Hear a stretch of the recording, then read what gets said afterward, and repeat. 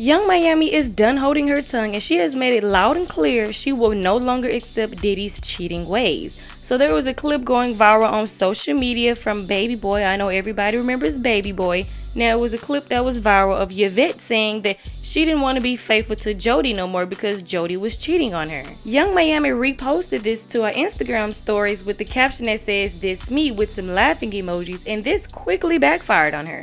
Social media users had plenty to say about Yung Miami's post, with many voicing their thoughts and opinions. One person said, But y'all swear she's so happy being one of Diddy's chicks, lol.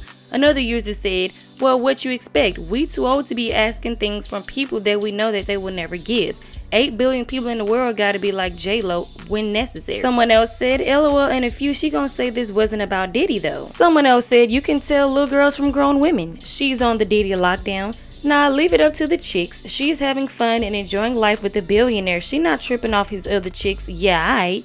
Someone else said, yeah, you deaf Yvette real bad. And the last person says, nah, stay where you at. You're his number one, right? LOL, shaking my effing head. Yung Miami knew exactly what she was getting herself into in the podcast interview when she asked Diddy, oh, what are we? He basically said, we dating, we dating other people, we're gonna have fun. Basically letting her know that he wasn't really serious or he didn't want to be in a serious committed relationship with Yung Miami and he was spotted with several other women and he also had a baby on her. I don't care what nobody says. They was talking to each other and he had a baby with somebody else okay?